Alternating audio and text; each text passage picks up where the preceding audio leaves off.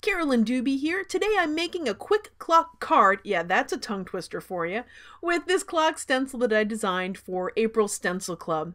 I've got that big clock on there and that's going to become the focal image on the card. I'm going to just pounce with sort of bionic hands here with acrylic black paint and a cosmetic sponge to cover the whole thing.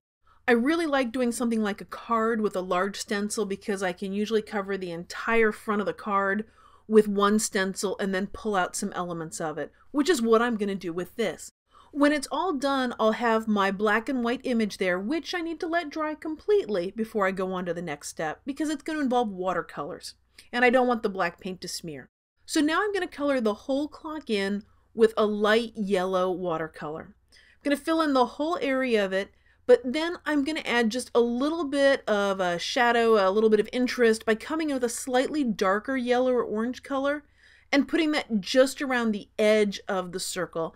Gives me a little bit darker spot and a little bit lighter spot. And if I've got too much color or too much water on there, I just use a clean paper towel and blot some of it up. Watercolor's so forgiving in that way. I'm going to come in with a clean off my brush as best as I clean off a brush, and then I'm just going to put some bright green all around the edges of it. The next part is the tricky part for me is to let it dry because I have so little patience for things. But to keep myself busy while that dries, I'm going to make an envelope for it. So I'm going to pick one element off of the stencil and I'm going to use that to create sort of like a clock peeking up over the bottom of the envelope. Same way I did the card, I'm going to stencil it on with the black paint, let it dry as best I can, and then I'm going to come in with the watercolor and add some color to it. So pretty quickly, I've got an entire card and matching envelope. The hardest part about this is waiting for it to dry.